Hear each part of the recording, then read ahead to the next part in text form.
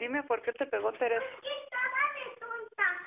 Estas palabras son de la pequeña Jennifer de tan solo cuatro años de edad, quien aparentemente ha sido víctima de violencia por parte de su madre y su padrastro. Esto según su abuela paterna. Lo hemos venido notando desde la edad de como 10 meses. Últimamente van en aumento los golpes más graves, inclusive dos caídas donde tiene pues todavía huellas en su piecito.